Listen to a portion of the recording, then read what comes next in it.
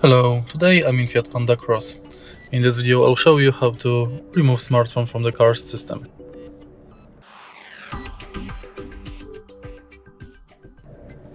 In the beginning let's press this button to go to the phone menu and navigate through it until you see user data. Select delete users, confirm and it's done. If you find this video helpful, please leave like, comment and subscribe.